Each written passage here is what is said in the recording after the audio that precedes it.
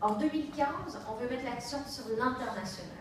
Mettre l'accent sur l'international, c'est réussir à convaincre des entrepreneurs étrangers de travailler avec ces écosystèmes en France et puis euh, aider nos entreprises à aller à l'international. Et c'est là que j'en viens à la question qui m'a été posée tout à l'heure sur les French Tech Hub.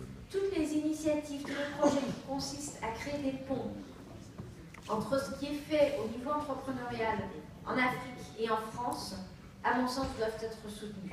Je cite par exemple euh, l'Alliance franco-tunisienne pour le numérique et je salue euh, ses représentants ici qui président euh, cette initiative qui consiste à créer des binômes d'entreprises, 28 à l'heure actuelle, qui partent ensemble conquérir les marchés internationaux. On est dans une optique de complémentarité. Où est-ce que ça marche bien en Afrique? Où est-ce que ça marche bien en France?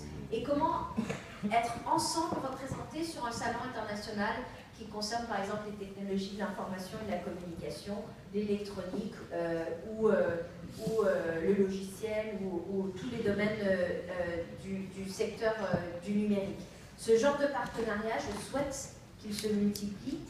Je souhaite que donc cette démarche de colocalisation d'entreprise, j'aimerais qu'il y ait des centres comme les French Tech Hub qui permettent d'accueillir des entrepreneurs français qui vont à la conquête des marchés étrangers, mais en lien avec l'écosystème local. Donc typiquement des entrepreneurs, des startups françaises qui iraient euh, au Togo ou à Dakar ou à Tunis ou ailleurs euh, pour participer à l'écosystème d'innovation locale et en même temps y déployer, y développer leurs produits et leurs services. Euh, nous avons lancé, au moment des vœux de la French Tech la semaine dernière, un appel à projet pour identifier les, centres de ressources possibles à l'étranger qui aimeraient créer un French Tech Hub. Et donc cet appel, je le relais ici, parce que je crois que nous avons effectivement beaucoup à faire avec euh, les pays africains.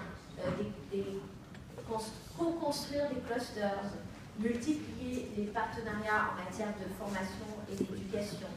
Euh, je pense que c'est une relation qui a la, comme perspective d'être beaucoup plus équilibrée. Et puis, il ne faut pas se mentir, l'Afrique nous intéresse aussi parce que vous êtes près du Moyen-Orient et parce que vous êtes euh, un pont vers l'Asie. Et je pense que la France peut vous intéresser parce que nous sommes plus près de l'Europe du Nord et nous sommes un pont vers l'Amérique. Donc c'est du gagnant-gagnant d'un point de vue économique.